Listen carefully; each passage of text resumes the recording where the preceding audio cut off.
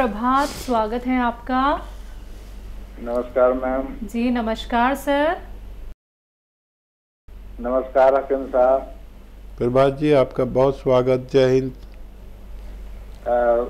गुरु जी एक रिक्वेस्ट है। मेरा फ़ोन जल्दी नहीं काटिएगा। पूरी बात सुन लीजिएगा। बहुत तकलीफ़ में हूँ मैं।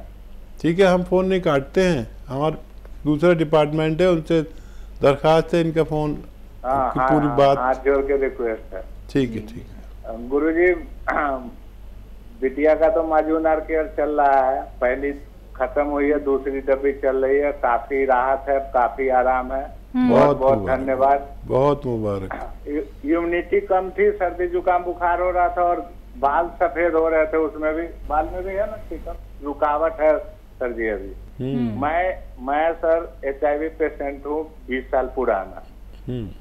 और दवा का जो नुकसानात है उसको रोकने के लिए मुझे कोई ऐसा नुस्खा दीजिए जो मेरा सब कुछ ठीक ठाक हो, क्योंकि साइड इफ़ेक्ट से मुझे स्किन डिज़ीज़ है, पैरों के नाखून में सरन मतलब सर सा गया है, और डैंड्रफ इतना है जो चेहरे पे भी, चेहरा साफ़ करने पे मैं डैंड्रफ सा निकलता है, दाढ़ी में, बालों में, ये आपका शैम्पू भी मंगवाया हो कोलॉजी का, तेल और ये क्या नाम है फेस वॉश सब यूज़ कर रहा हूँ लेकिन अभी बहुत ज़्यादा फ़ायदा नहीं। और मुझे 20 साल से बवासीर की भी शिकायत है सर।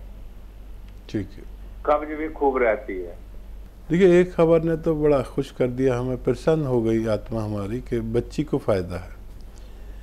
ये बच्चे हमारा मुस्तकबिल है इसको फ़ायदा शुरू हो गया मैं बहुत खुश हो गया। पाँच छः महीने खिलाना बच्ची को और मेरी तरफ़ से प्यार करिए।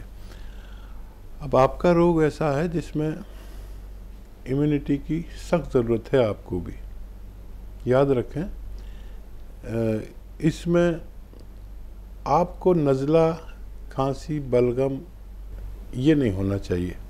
अगर आप ये चाहते हैं कि आपकी पूरी ज़िंदगी, आखिरी सांस तक आप ऐसे जिएँ जैसे आपको एचआईवी है ही नहीं तो खांसी, नज़ला, बलगम छीके मत आने दीजिए अपने आप को।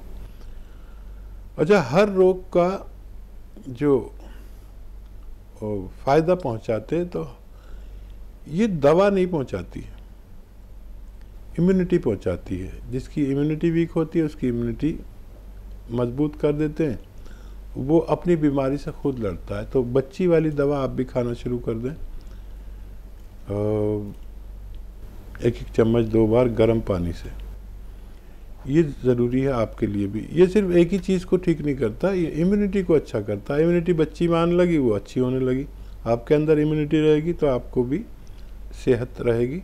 अपनी दवाएँ खाते रहें। और एक चुटकी नमक, जैतून, एक चुटकी खाने का सोडा पानी में मिलाएँ। और इस पानी से अलसी को हल्का सा भून कर रख लें, ज़्यादा नहीं भूनना, और पाउडर बना कर रख लें। एक चम्मच अलसी खा के, ये एक एक खुराक ही ज़रूर ले लिया करें रोज़ाना। इससे आपका एसिडिटी, कब्ज़, बवासीर, वरम, मैदे पे वरम आंतों पे वरम, लीवर पे वरम, किडनी पे वरम इन्फेक्शंस इन्फेक्शंस को ये ख़त्म करती है।